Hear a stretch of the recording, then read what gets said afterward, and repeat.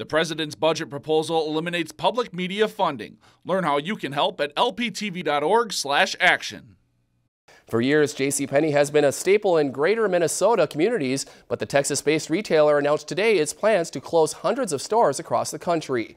Out of the 138 JCPenney stores closing, eight of those are located right here in Minnesota. JCPenney stores in Baxter, Hibbing, Thief River Falls, Fairmont, Faribault, Hutchinson, Red Wing, and Winona will all begin the liquidation process on April 17th, and then most closures will take effect in June.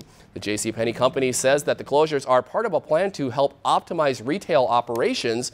Brainerd Lakes Chamber of Commerce President Matt Killian says that while it's sad to see JCPenney leaving Baxter, it also opens up a new opportunity for business. And so a store like JCPenney, while it is a short-term loss for the community, it really represents um, an opportunity for another business, perhaps a locally owned business even, to take that, uh, to take that place and fill that void uh, in our, our retail mix.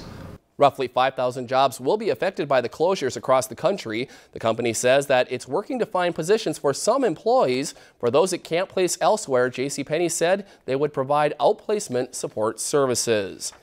If you've enjoyed this segment of Lakeland News, please consider making a tax-deductible contribution to Lakeland Public Television.